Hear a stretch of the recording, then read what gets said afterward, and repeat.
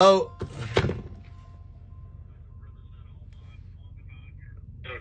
truck.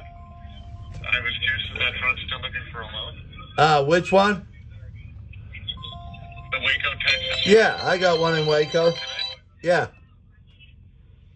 I, I got a, a load going from Fort Worth, Texas to Apple Valley, California.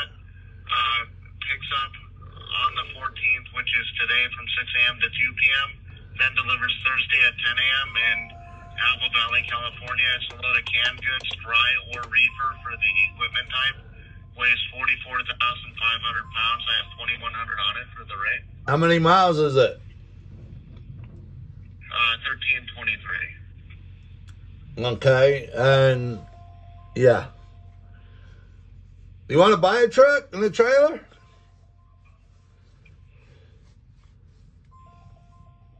Sir? No, I, I personally wouldn't have any use for one.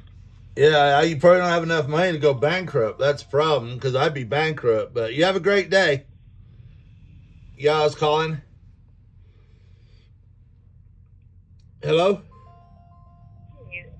Is this truck the wrong one? Yeah, how can I help you? Hey, this is new with Outland. I was just calling to see if you're interested in a Texas Arizona load. Uh, Picking up, today or tomorrow? picking up today. Yeah, give me the zip codes. Um, this is going to be picking up in Dawn, Texas. So that's going to be 79025. Picking up between 8 a.m. and noon.